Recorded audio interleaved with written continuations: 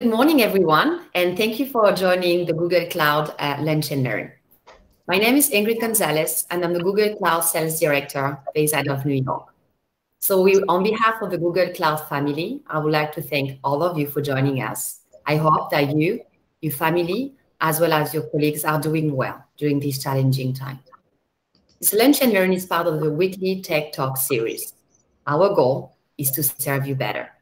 Previously, we cover topics such as business continuity, DevOps, Kubernetes.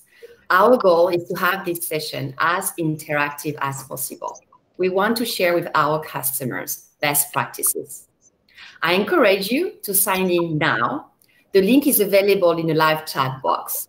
As soon as you sign in, we'll send you the deck and a feedback form. Please provide us feedback and topic you would like us to uncover during the next session. We learn with you and from you. So after today's session, you will have the opportunity to discuss questions. Please write your questions in the YouTube live chat box. Without waiting, I have the pleasure and the honor to introduce you today our speaker, Eric Smith. Eric is the developer advocacy lead for data analytic and applied data science within Google Cloud. His team focuses on enabling data engineer data analysts, and data scientists across data pipelining, data warehousing, streaming analytics, and business intelligence workloads. Prior to his advocacy role, Eric was the founding product manager for Cloud Dataflow, bringing forth a unified model for batch and stream processing. Today, we'll talk about the feature pillars in BigQuery with a lens toward how you use them for various scenarios. So without waiting, Eric, you have the floor. Thank you. Thank you. Thank you, Ingrid.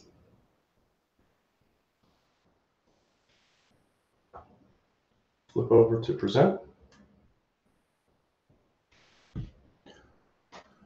Well, good morning or good afternoon, wherever you may be.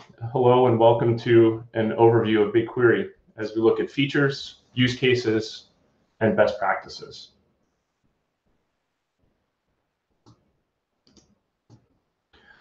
As Ingrid said, my name is Eric Schmidt, and I lead the data analytics and data science developer advocacy team within Google Cloud. My team works with customers and practitioners at large, helping them to build data analysis pipelines. You can reach me at cloudy at google.com or on Twitter at not that Eric where my opinions are my own. Thank you for joining me today. To start with, I'd like to lay out the overall focus for this talk. This talk is about BigQuery. But more specifically, this talk is also about BigQuery, BigQuery primarily through the lens of technical practitioners. I'm talking about the DBAs who manage infrastructure, schema changes, and deal with access control. We're data engineers who build data transformation pipelines and toil over ever expanding processing demands of data. We're data analysts driving descriptive analytics and data scientists seeking to formulate new questions about the past and future. Now, if you're an ITDM making purchasing decisions or a CISO wrangling cross organization security challenges, or maybe a chief decision maker, you should also find this talk useful as it will shine light on the value proposition of BigQuery beyond technical fundamentals. If you're new to Google Cloud, or maybe a seasoned pro, it's still important to understand the product landscape for this talk, as I just won't be addressing BigQuery.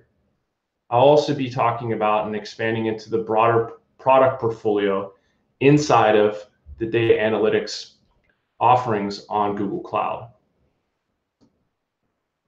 Now, as a side note, for a little bit of fun, here is a printable poster that has every Google Cloud product along with a four word or less description. Now, whenever I started on Google Cloud back in 2013, I think there were six products, of which BigQuery was one of them. So grab the uh, high-res poster or wallpaper from the GitHub link below, print it out, and you can impress your fellow cloud and data nerds. Now, instead of looking at products, I'm going to dive into a concept that we call solutions. Now, Google Cloud Platform has eight primary solutions, smart analytics being one of them. And the way I like to talk about this is that it's easy to talk about a single product. It's simple. But in the real world, as practitioners, we live and operate from a solutions per perspective. This is typically framed as I need to solve for X problem. And in order to do so, I need A, B, and C products implemented with Y and Z patterns.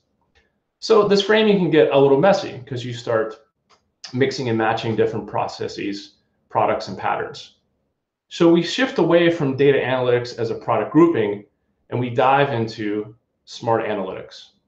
Now, a quick warning. I have a few more marketecture slides to make sure we're on the same page, and then we're going to get into SQL and code.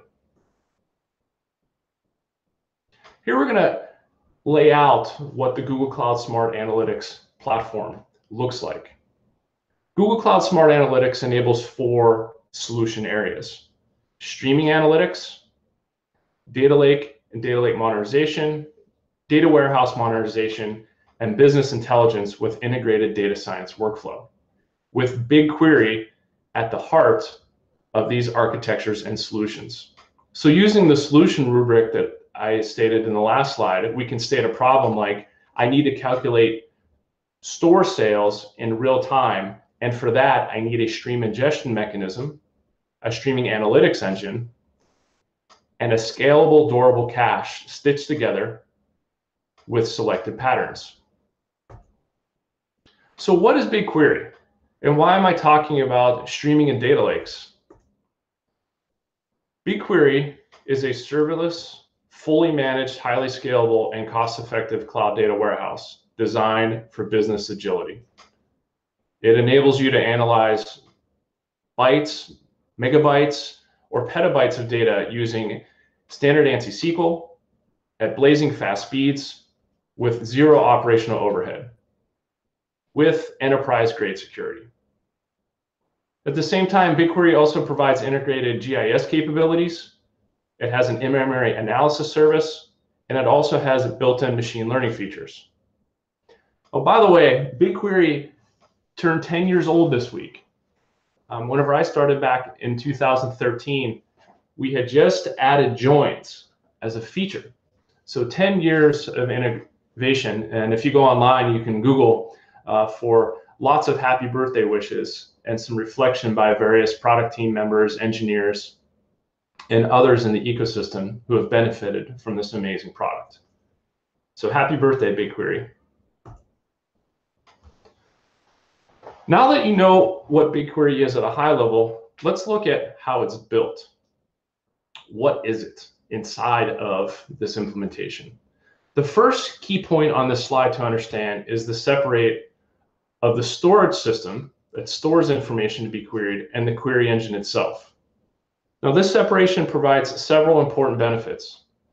First of all, BigQuery stores data in a proprietary columnar format called capacitor, which, as it evolves over time, can provide more optimization, specifically through data layout optimization. The data is physically stored on Google's distributed file system, which is called Colossus. This is, ensures durability uh, through something called erasure encoding, where we store redundant chunks of data on multiple physical disks. And moreover, this data is replicated throughout multiple data centers. Another key point is that as optimizations occur in the query engine, they can be rolled out to the entire customer base with zero downtime. So we can mix and match how optimizations are added to both the storage system and the query engine. The second key point to understand here is that these sub-services, storage, compute, et cetera, they all run on serverless on a serverless resource model, which behind the scenes is fully managed by Google. So if you're coming from an on-premise and or a monolithic data warehouse and or data lake implementation, this may be a completely different model for you, a model that changes how you think about how you build and manage such systems. drilling in deeper, it changes the game because BigQuery replaces this concept of typical hardware setup and deployment. There is nothing to deploy with BigQuery or manage from an infrastructure perspective. From there, you can quickly iterate and grow a basic data mart using data sets and table constructs. You can then use and deploy tables as a source of truth to define schemas for a data lake, both within BigQuery or outside of BigQuery storage system. Um, your data lake may contain files elsewhere, like on cloud storage, Google Drive, or a transactional system like Cloud Bigtable. BigQuery also provides Cloud Identity Access Management, or IAM, to grant permissions to specific actions within BigQuery. This replaces traditional concepts like SQL grant and revoke. Ultimately, you can develop and deploy insights in real time at scale with BigQuery. Now with all of this framing in place, let's dig into some SQL in code. Now, as I was preparing for this talk over the weekend, I, like the majority of you, were also experiencing some very challenging times with protests, civil unrest, and dealing with the COVID pandemic. These are very challenging times. Now, at the same time here in Seattle, where I live, we also experience some very violent weather over the weekend, which included lightning. To which my seven year old asked while we were eating dinner if we get more lightning here in Seattle than grandma does, who lives on the East Coast. This is something we talk about a lot, mainly because we don't get a lot of lightning here in Seattle. So for this demo, we're going to do a very simple kind of data analysis data science experiment, which is let's formulate a question. Do we get more lightning here in Seattle than in grandma who lives on the East Coast? So we started thinking about this. Well, where could we go get that information? Could we go to the news? Could we go to NOAA websites? Could we Google it? It turns out this is a fairly challenging question to ask if you want to compare lightning strikes between two cities. And then also, once we start querying the data, we have to understand what my boundaries are, what is here in terms of if we live in Seattle, and where are we defining here in terms of those lightning strikes? Are we talking about in our neighborhood, across the city, et cetera? And then once we have the ability to query the data, can we visualize it to see if it makes sense and does it answer the question? So with that, let's flip over to BigQuery. What you see here is the BigQuery Cloud Console. And on the left-hand side, if I scroll down, um, you start to see different projects that ha I have access to.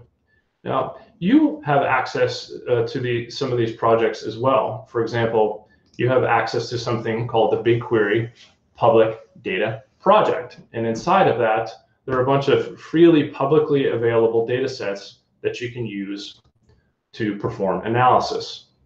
And if I scroll down to one called NOAA Lightning, there's a lot of data sets in here. You can see that I have tables for lightning strikes from current year all the way back until 1987. And the schema looks like this, basically day, the number of strikes, and the center point. So if I preview it, it's a fairly basic layout. So I sat down with my son and I started asking questions like, how close do you think a lightning strike would be if it was close to our house? And we agreed, we agreed upon roughly around five miles.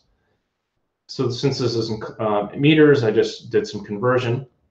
And then from there, we used built-in GIS functions inside of BigQuery to calculate the distance between where the lightning struck, according to the record, and the center point in our neighborhood, both for our house and grandma's house.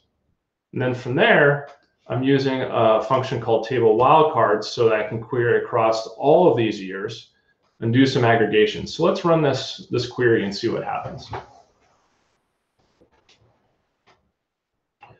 Now keep in mind, in the background, BigQuery just went and scanned all of the data in storage and we scanned 4.9 gigs in roughly 5.4 seconds. So this query looks like it's producing reasonable results. I have distance to our house, which is seems very, very far away. And this strike was fairly close to grandma's house on the East Coast. Great. So I've effectively built this query, but it really doesn't tell a story yet. Does it answer the question, you know, who effectively gets more lightning? So what I'm going to do is flip over to another tool, which is called AI Platform Notebooks. And here, once I jump out of BigQuery, I can jump into AI Platform Notebooks.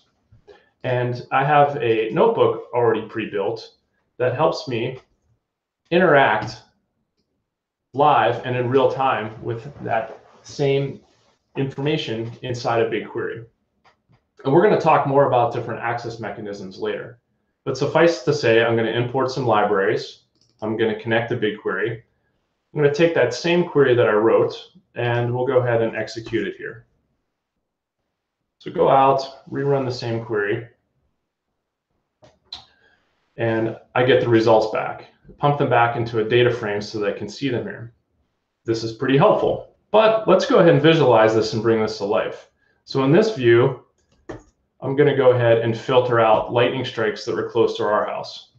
So over the years, you can basically see we don't get a lot of lightning. Some some days it's basically zero. Looks like we had a peak here. There was a lot of strikes back in 1999, but a lot being 40. If I go down and I look at what happens in Pittsburgh around Grandma's house, you can see the scale is much different. You know, they have multiple storms that range in the peaks of 200, and on average, if I just do an eye test, lightning strikes are between 50 and 100 with a really, really, really big surge. This was a massive storm uh, back in July of 2018. So there we go. We can definitively say that yes, Pittsburgh gets way more lightning strikes, at least in this location, compared to what's happening in Seattle in our neighborhood. And the beauty here is we were able to do all this with zero infrastructure. I didn't have to ingest any data. I didn't have to move any data. All I had to do was express a query execute it, and then visualize it. Now, as an aside, my son then started to ask, do we get more rain here in Seattle versus uh, Pittsburgh? And I just looked at him and said, mm, I'm not sure, but there's another public data set we can play with into that. Uh, he was no longer interested. So let's get back to BigQuery and features. What I'm going to walk through next is how you inter interact with BigQuery. There are multiple ways to do it. I just showed you one of them, which is through the developer console. This is typically where you would spend a lot of your time initially as you learn the product, mainly because it provides you almost complete access to all of the API operations within BigQuery. Um, it's also easy to access job and query history. So as you execute queries like I did, I can go back and pull up queries that I've ran in the past. I can also save them and share them easily with others. The editor also provides visual uh, hints as you're typing out syntax to make sure that those queries are correct. You can also do some inline exploration with Sheets and Data Studio. So over here, over here, I could say explore data and push this out to Sheets and start doing very similar analysis inside of Sheets versus doing it inside of, say, an IPython notebook. We'll talk more about this later.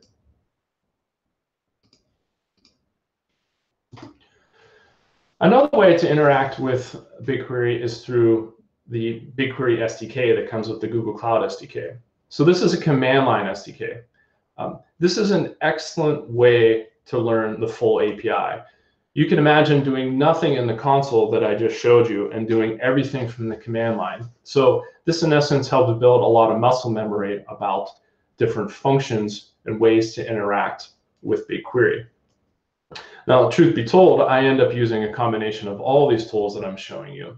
Um, specifically, I like to use the command line tool is basically an auditing tool. So as I'm maybe running things in the console or I have background jobs running in code, I can also use the command line to basically audit and tail what's happening with the system. One other nice benefit is inside of Google Cloud, we have something called Cloud Shell. So if you fire up Cloud Shell, the Google Cloud SDK is pre-installed and it is a free compute instance for you to basically do any type of console-based uh, SSH work. Another way to interact with BigQuery is through client libraries. Um, or you could build your own library on top of the BigQuery REST API, which is what the client libraries are built on top of. So in my Python IPython notebook uh, that I showed you, I'm using the Python client library. Um, I highly suggest that you end up using the client li libraries as the pre-built because they're fully supported. And we have a common documentation and sample model across all of these libraries.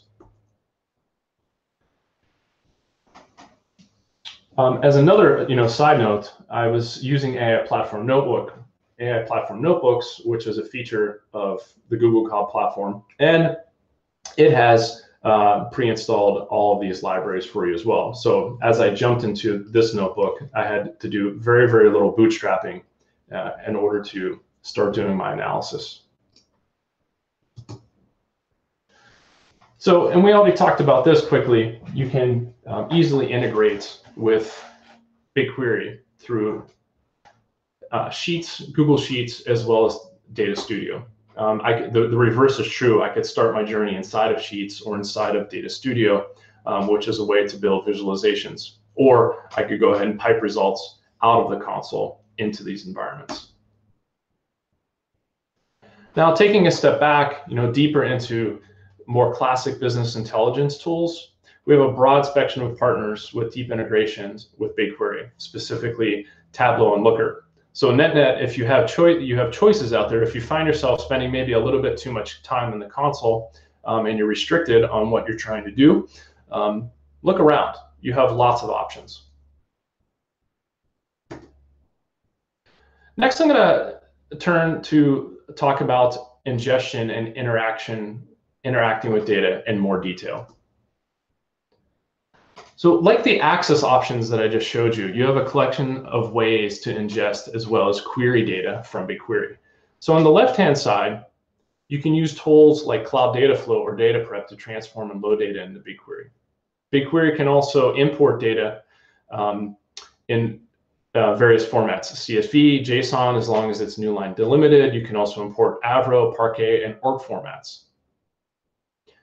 You can use the data transfer service, DTS, to automate ingestion or and or transformation, transform data from other cloud providers. So you have data on AWS S3, you can use DTS to pull that data over and load it into BigQuery. You can use DTS to also connect to SaaS applications like Salesforce and SAP. Another way that you can uh, import data is just straight through the API. So basically any place where you can get code up and running, you can insert data into BigQuery tables. So you could be running on a compute engine instance, maybe inside of a container on Kubernetes, App Engine, etc. The one caveat here, though, is that you have to recreate all the data processing foundation, making connections, dealing with um, error cases, etc. So a, a, good best practice is to use a high-level uh, primitive, something like Cloud Dataproc or Dataflow, um, that have that has these type of implementations built in, and I'll show you that in a minute. Now on the right-hand side, you can access and query data across other BigQuery datasets, just like the one that I showed you with the Lightning dataset. All the storage is man managed in another project, in our public datasets project. You can also execute federated queries over other databases from BigQuery, like Cloud SQL, which is a managed version of MySQL. Now, one of the unique aspects of BigQuery is that you can choose to load data in batches, or you can load data in real time via stream ingestion. And there are a few decision points here on when to use what and when. So if you need to use daily, if you need your data updated on a daily or weekly basis, batch loading is more than likely a solid choice. Now, if you start to reduce your load window, say to under five minutes, and you have lots of tables to ingest, streaming ingestion may be a better choice. You, you can mix and match um, these models. For example, you may have one table that is batch loaded, say on a daily basis or weekly basis, and then another table which is stream loaded from the same source, but you're only doing 20% sampling of real-time events. Another way to load or generate data is basically through a simple select statement, where you basically select results from a local uh, data set or from a remote data set and then save those results back into your data set to create new tables. I'll show you a demo of this in a minute.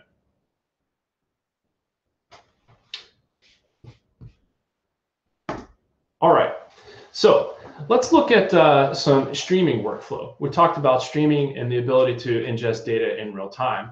So I'm going to flip over to this console, which is Google Cloud Dataflow.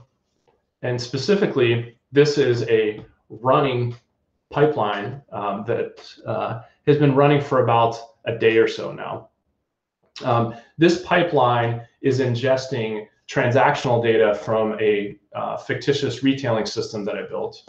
It's also ingesting clickstream data um, from browser activity related to this retailer. And it's also looking at some real-time stock information. So it's ingesting this, the, this information from Cloud Pub Sub. It's doing some transformations on those streams. Um, it's doing a, a, a little bit of aggregation where I'm looking at counts within a particular time window. And then it also passes all of the data through back out and writes it into BigQuery in real time. So you can see here on the right-hand side, we're roughly doing around 227 to maybe we spike up to around 700 events a second. So as new transactions come in, they're processed in real time, written into BigQuery, and also aggregated in real time.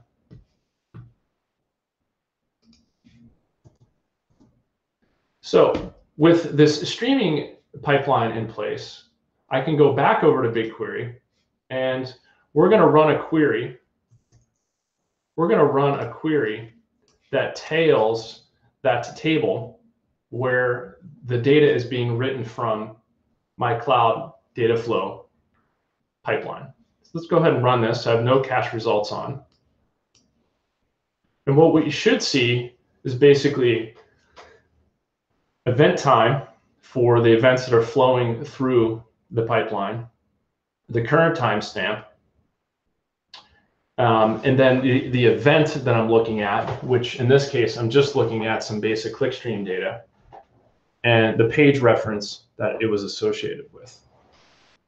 So this will take probably around 23 to maybe 25 seconds to run. So there you go.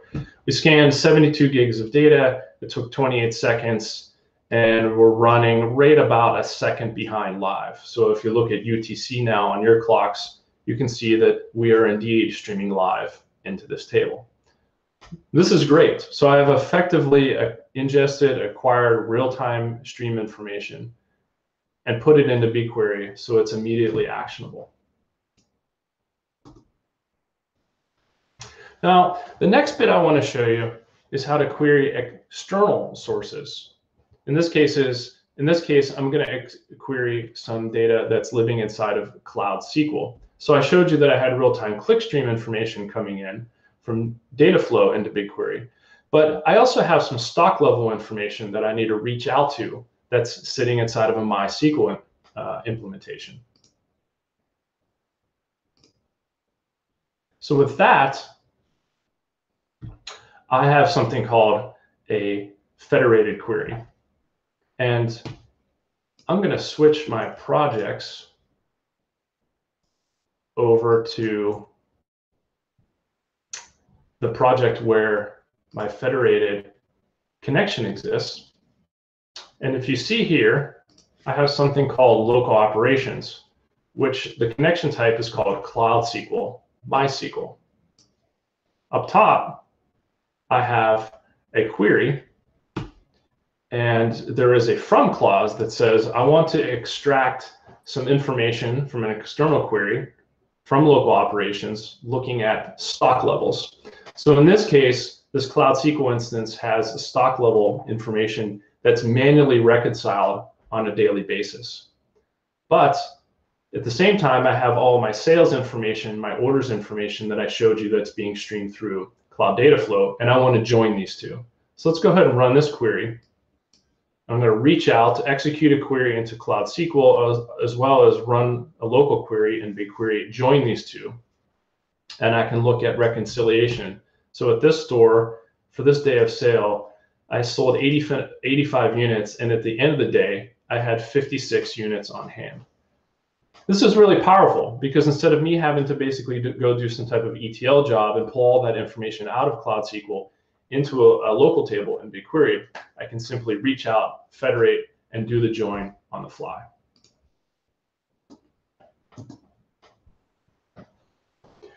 The other thing I want to quickly show is uh, query materialization. Um, I have a query that I ran. This is actually last night. Um, it took uh, two, almost three hours uh, to run, and it processed 24 terabytes of data. Up top, it's, you see it's a fairly simple query. I'm basically doing um, a group by on some order information by the uh, basically by week, by store, by order hour of day. In essence, I wanted to look to see what type of order volume I have on a per hourly basis inside of a store.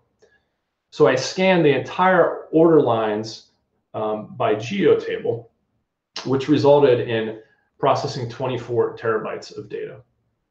Um, and the output of this are, is quite simple. I could use this output as a fact table for some type of data analysis. So in this case, all I have to do is say save results, go back to BigQuery table, and I'll call this uh, maybe facts by store week.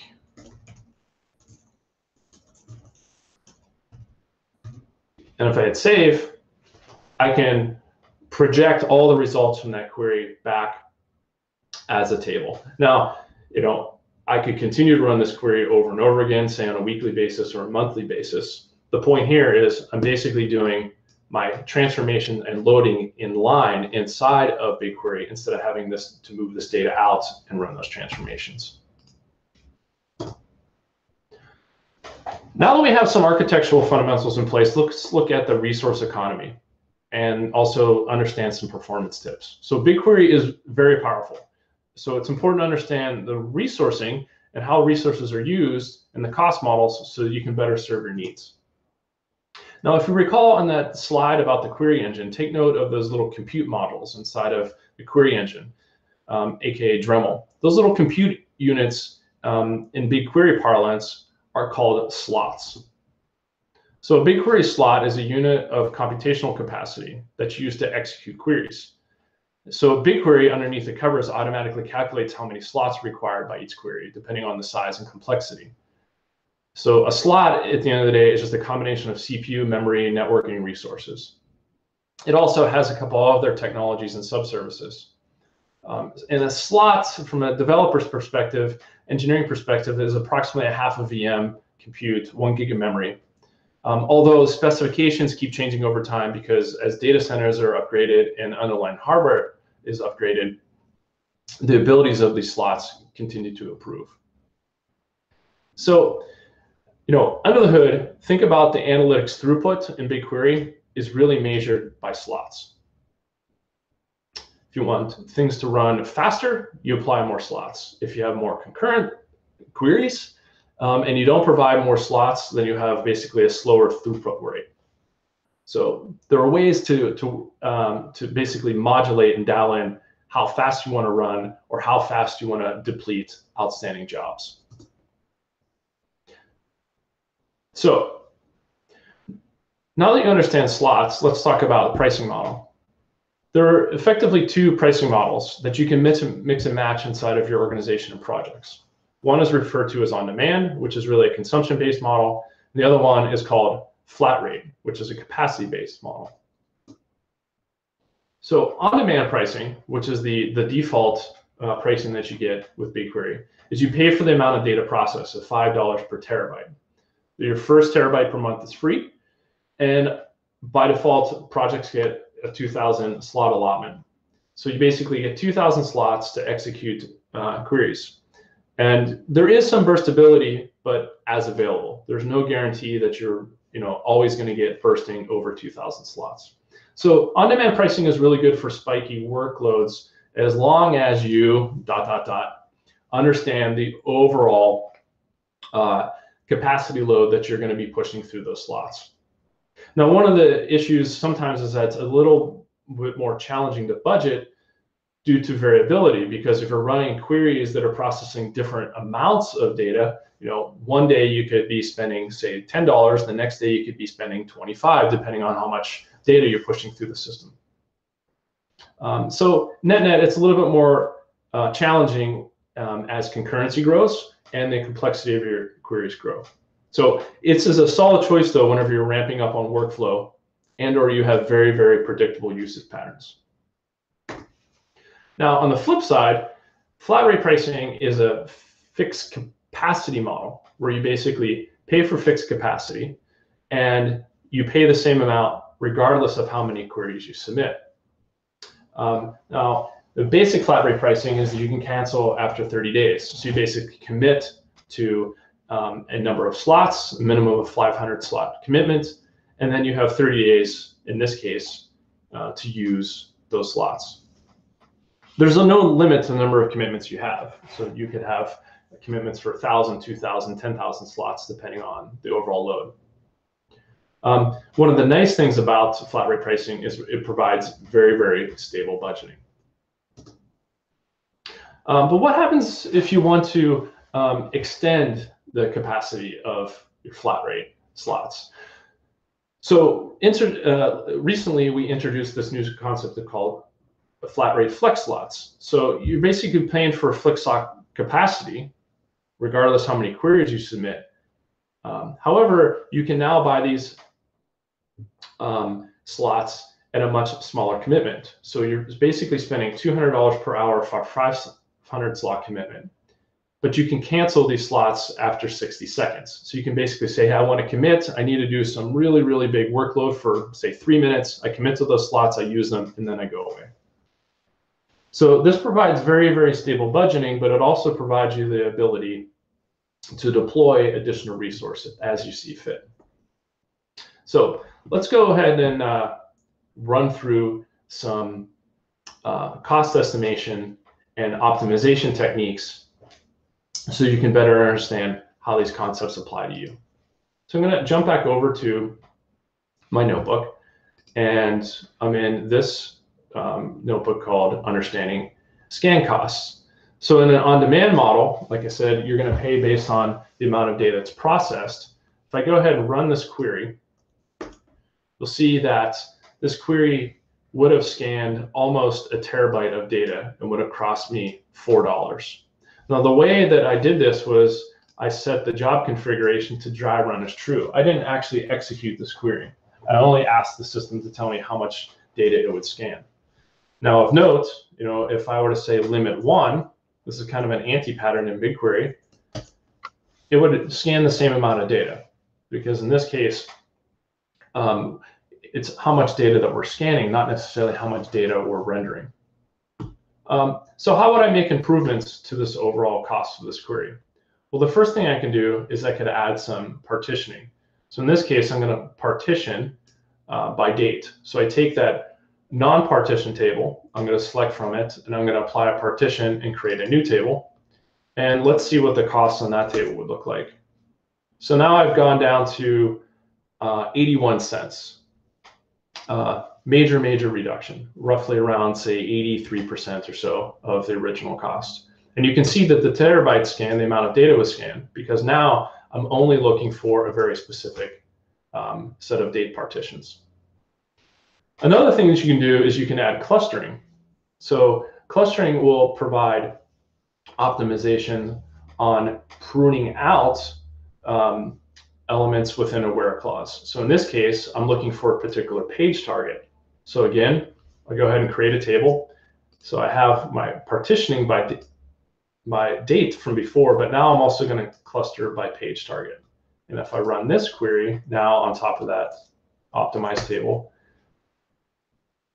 um, I actually executed this query. This query cost me 0.001 cents.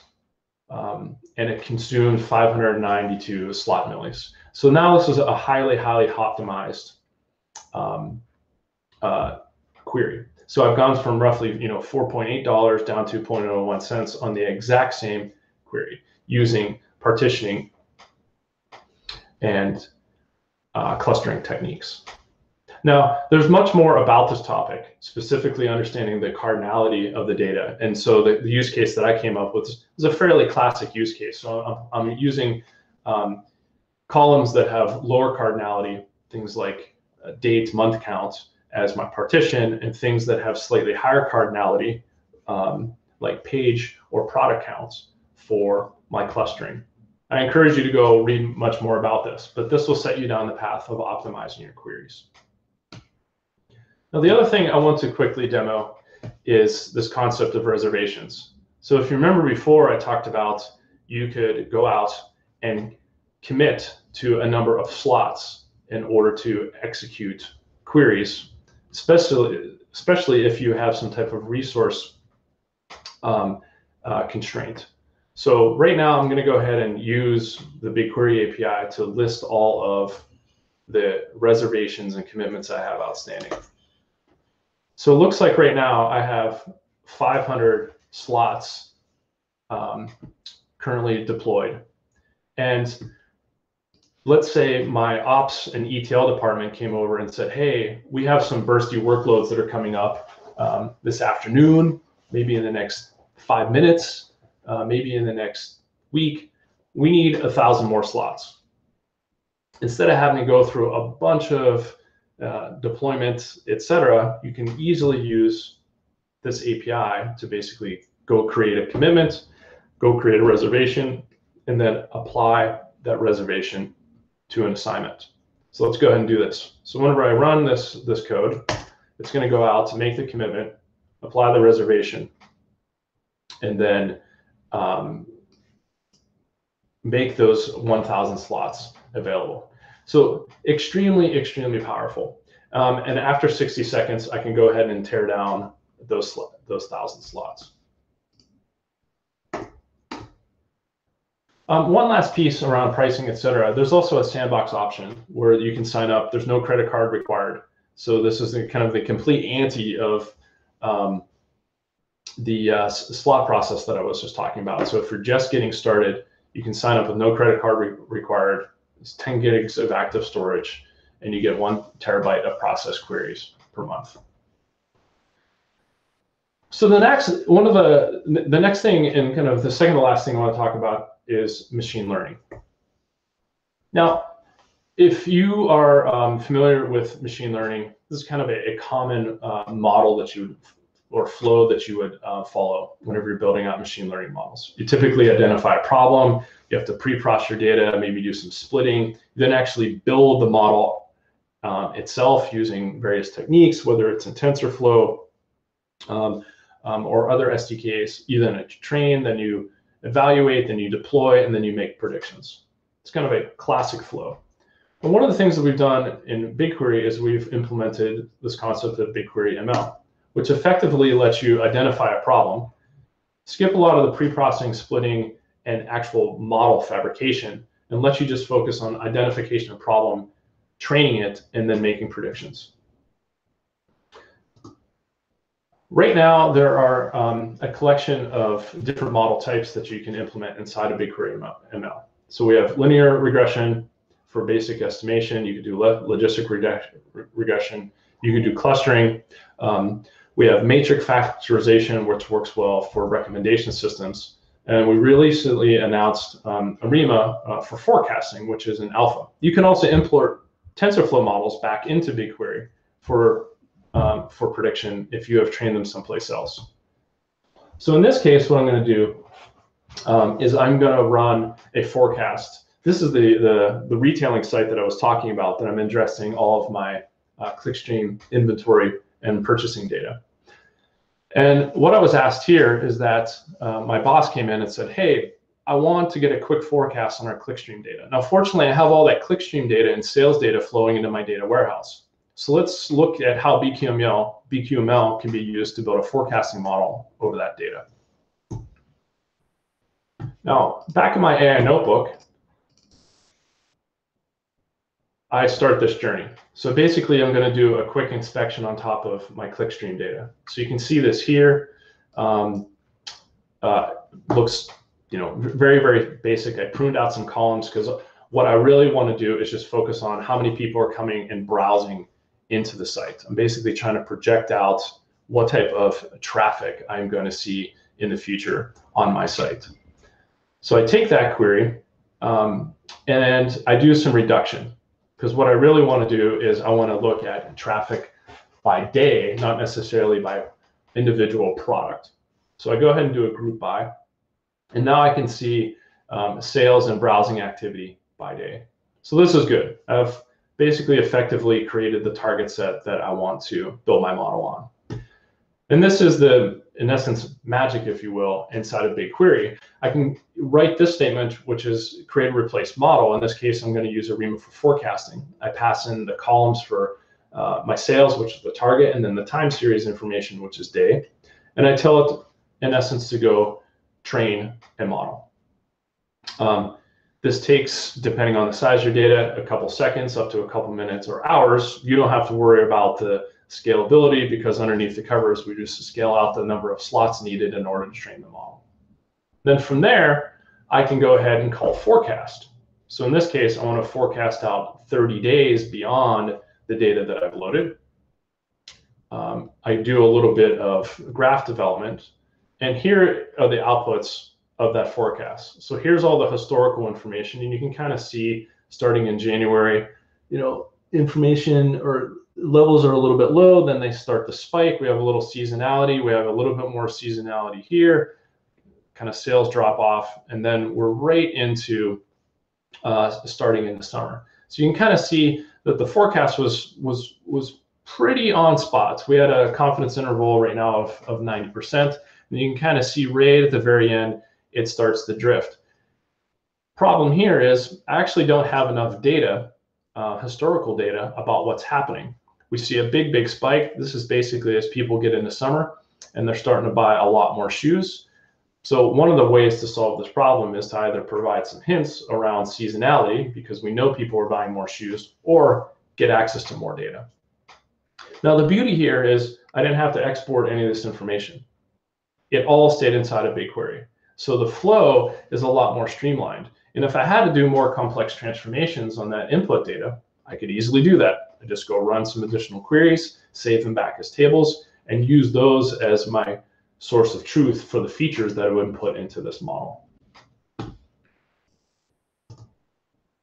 Now, the last piece as we wrap up, kind of bring this all together, um, uh, is a demoing inside of Looker. And uh, I need to log back in to my account.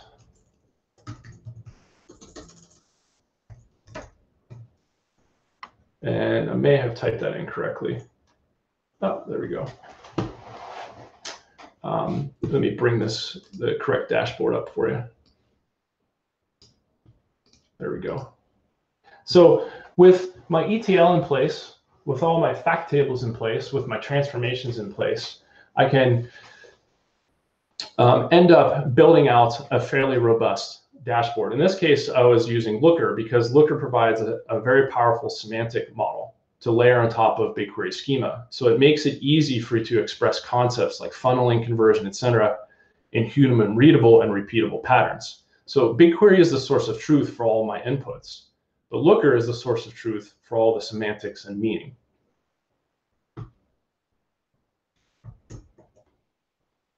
All right, so we're pretty much at time.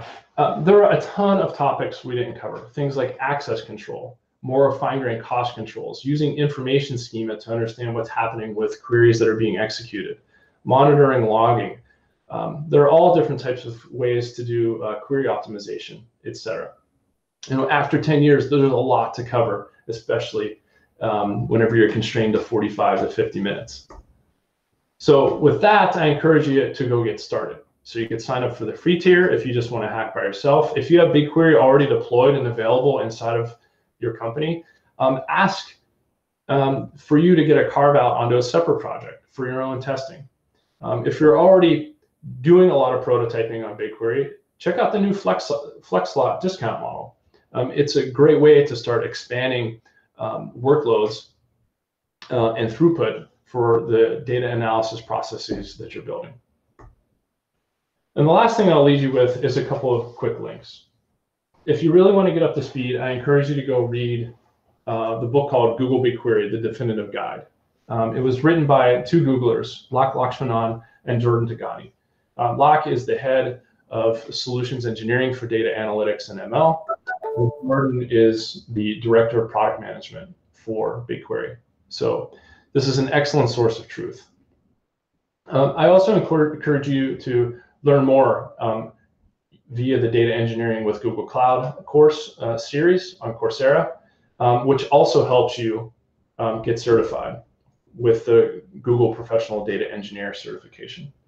And last but not least, I encourage you to go out and follow these folks if you don't follow them already. Felipe Hoffa uh, is the lead developer advocate for BigQuery. He is an amazing source of information um, and uh, tribal knowledge for BigQuery.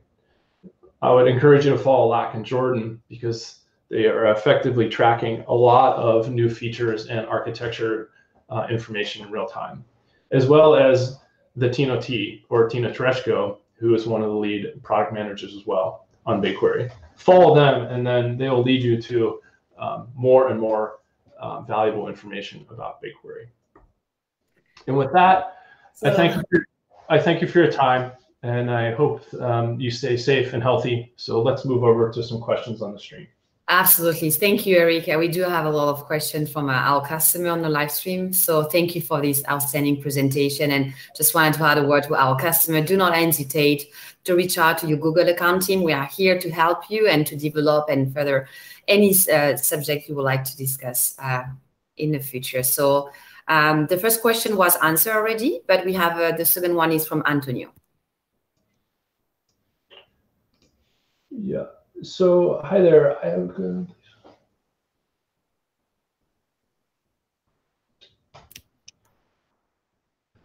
Um, so yeah, so I didn't talk about materialized views um, in this session. Um, they're a, a, new feature uh, coming to BigQuery. And in, Antonio, probably the best thing to do is if you just want to send me a, a mail and talk about, um, uh, we can dig into kind of what's happening with the materialized view itself uh, what's in uh, what's in the view. Uh, there are some edge cases where you may not see uh, performance improvements. So I'd be more than happy to take a look at that query and schema that you have uh, offline.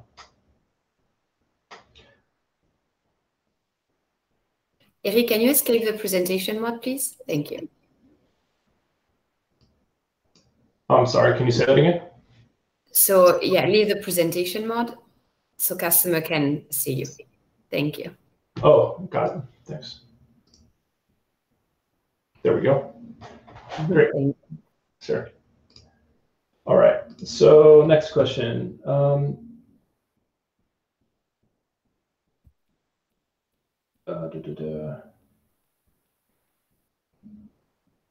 Oh, so I'm going to skip down to the question from Alex that says, do you have to still span for scan terabytes when using flex slots? The answer to that is no.